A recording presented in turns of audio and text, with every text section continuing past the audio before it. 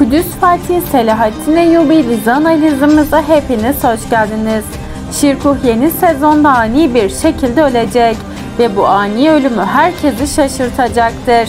Başta Kral Amerlik ve Vezir Şaver'in oğulları olmak üzere onu düşman addedenler neredeyse bayram edecek derecede sevinirken Suriyeliler, Mısırlılar ve Sünni Müslümanlar ise üzülecekler. Bu ölüme ise en çok üzülen şüphesiz ki Selahaddin olacak. Çünkü Şirkuh amcası, hocası, komutanı olmanın ötesinde kendisine biraz da kütüphanelerden, sohbet meclislerinden ağırlığını hissettirmeye çalışan kişiydi. Diziyle ilgili ayrıntıları kaçırmamak için kanalımıza abone olmayı ve bildirimleri açmayı unutmayın.